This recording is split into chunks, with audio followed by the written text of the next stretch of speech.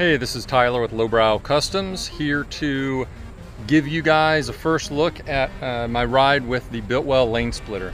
The Lane Splitter is new here in fall 2016. Uh, we've got a limited amount of these on hand to try out from our friends at Biltwell and I'm going to hop on my shovelhead chopper and go for a spin after lunch.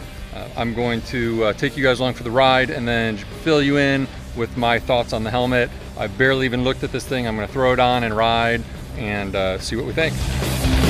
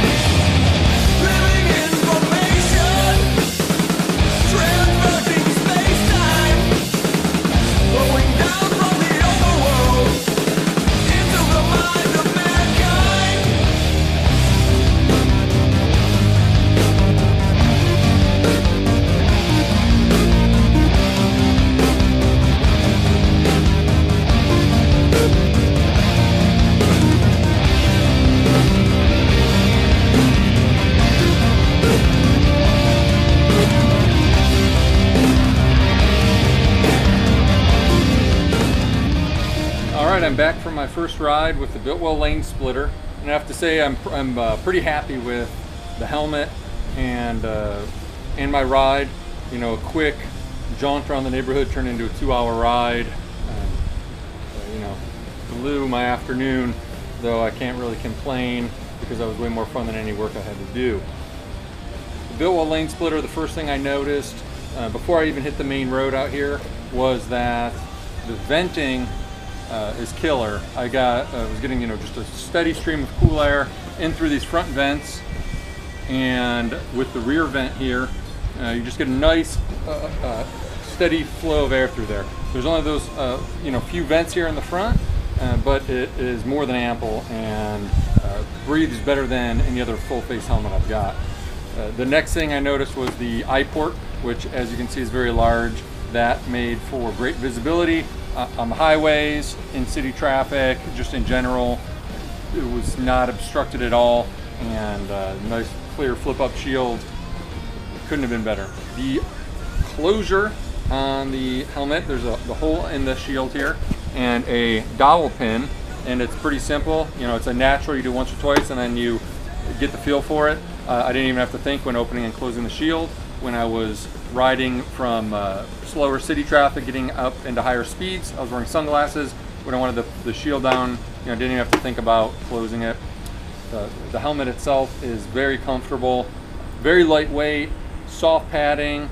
There's a, a fleece lining on the inside of the strap protectors here. Never had any irritation or anything like that. And the couple hours I was riding, I never felt like I wanted to take the helmet off like I felt with some other helmets. Another nice feature is the webbing here under the chin.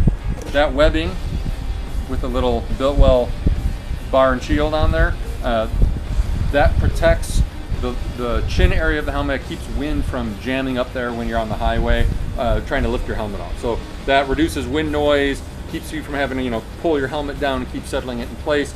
Uh, so that's just a, a nice small feature, but it's the details that count. I'd have to say overall, I'm very pleased with the Biltwell Lane Splitter. In addition to gobs of style, it also performs well, and I look forward to wearing this uh, regularly as I uh, get out on my bike. And uh, in fact, I'm going to take this one and wear it on my ride home today and keep it in my garage. Check these out and plenty more at Lowbrow Customs. And if you enjoyed this video, subscribe to our YouTube channel and uh, you will see lots of great motorcycle goodness that we try and come out with regularly for you guys. Thanks very much. I'm Tyler with Lowbrow Customs.